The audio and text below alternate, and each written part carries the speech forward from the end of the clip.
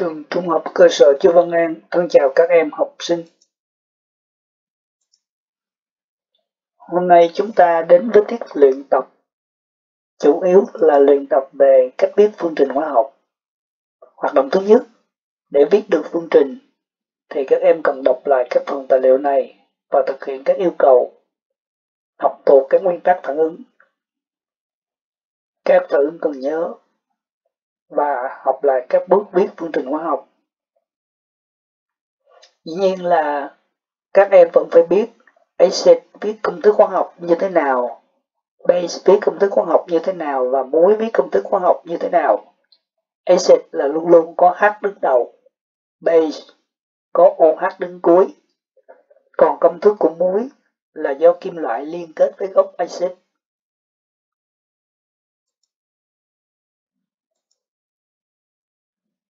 Bây giờ chúng ta sẽ chuyển sang hoạt động thứ hai. Đó là hoạt động luyện tập. Các em ghi lại 10 phản ứng này và cố gắng hoàn thành trong thời gian sớm nhất. Bây giờ thầy sẽ hướng dẫn các em cách làm 10 phản ứng này nhé.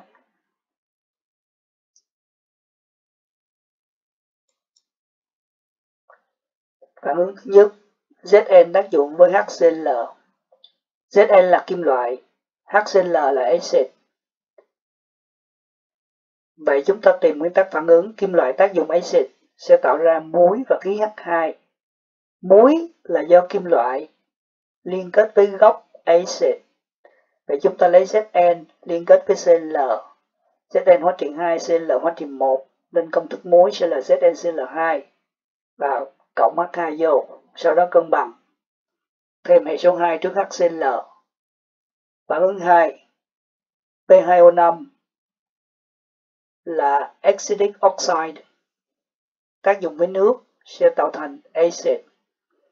Công thức khoa học của acid luôn có H đứng đầu. P2O5 sẽ chuyển sang góc PO4 hóa trị 3. Vì vậy, chúng ta gắn ba nguyên tử H vào đây. Công thức của acid sẽ là H3PO4 sau đó cân bằng với hệ số 2 trước H3PO4. Phản ứng số 3. BaO là basic oxide. Khi tác dụng với nước thì tìm được nguyên tắc basic oxide tác dụng với nước sẽ tạo thành base.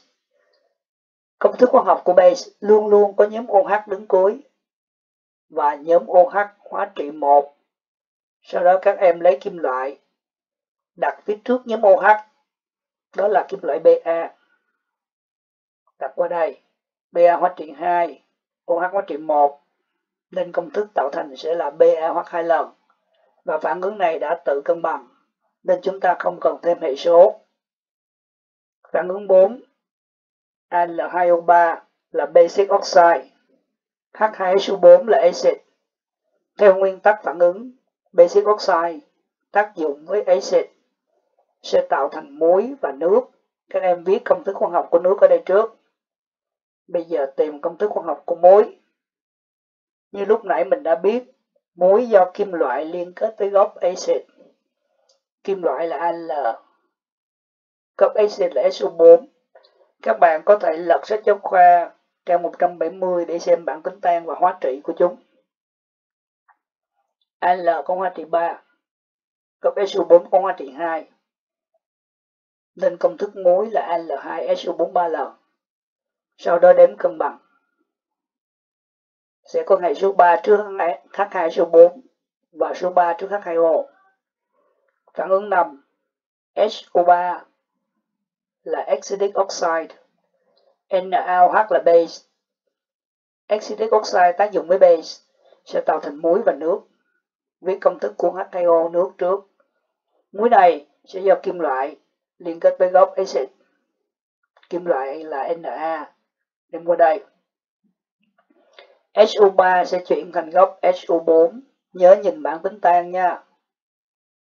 Na hóa trị 1 gốc SO4 hóa trị 2 nên công thức của muối là Na2SO4 sau đó đếm cân bằng. Thêm 2 trước NaOH thì phản ứng này bằng.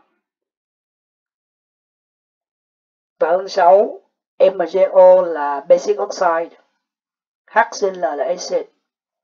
Vậy chúng ta tìm được nguyên tắc basic oxide tác dụng acid sẽ tạo muối và nước, viết công thức của nước.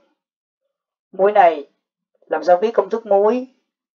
Muối là do kim loại liên kết tới gốc acid. Nhìn vô bảng tính tan thấy kim loại là Mg, đem qua đây.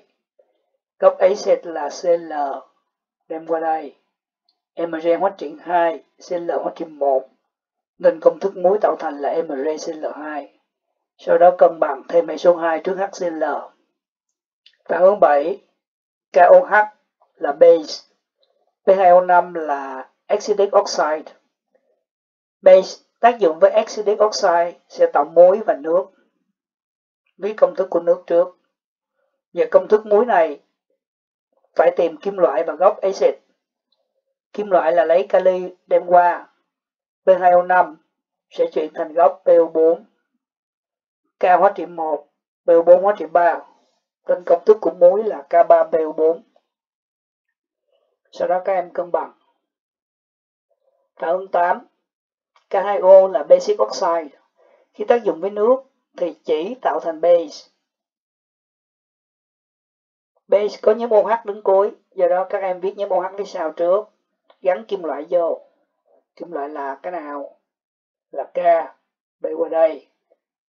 K hóa trị 1, OH hóa trị 1, nên công thức của base là KOH. Sau đó đếm cân bằng, thêm số 2 trước KOH. Phản ứng chính, H2O là nước, tác dụng SO2 là acidic oxide, vậy sẽ tạo thành acid. Acid thì luôn luôn có H đứng đầu, với chữ H trước. H này là chuyển qua đây rồi, vậy sẽ lấy cái phần bên này chuyển qua. SO2 sẽ chuyển thành nhóm SO3 hóa trị 2. Vì vậy chúng ta viết công thức của acid là H2SO3 bởi vì H hóa trị 1, SO3 hóa trị 2. cảm ứng 10.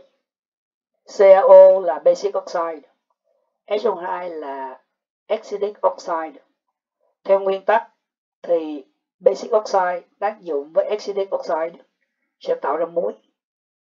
Vậy chúng ta cũng lấy kim loại ghép tới gốc axit kim loại Ca bay qua đây. SO2 sẽ chuyển thành gốc SO3 hóa trị 2, Ca hóa trị 2. Đơn giản hóa trị là mất, do đó không cần đưa chéo xuống. Rồi các em về luyện lại 10 phản ứng này cho kỹ nha. Để chuẩn bị kiểm tra 15 phút. Tạm biệt tất cả các em. Hẹn gặp ở tiết sau.